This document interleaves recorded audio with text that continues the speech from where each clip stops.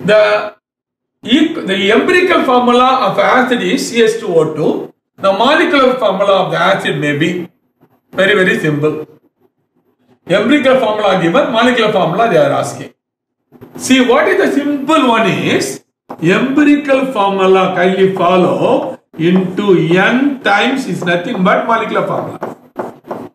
So n is you can write now the molecular weight by empirical formula weight.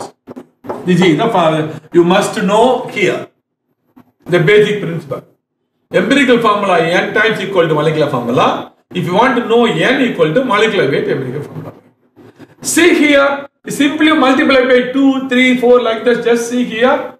This is the 1 times molecular formula. So the empirical formula of acid is they are uh, of CH2O is here. Molecular formula of an acid may be here. Here. So I see here it is by 3 times it is given. C3 H, H6 O6. So N equal to 3. That is the correct answer. Next one.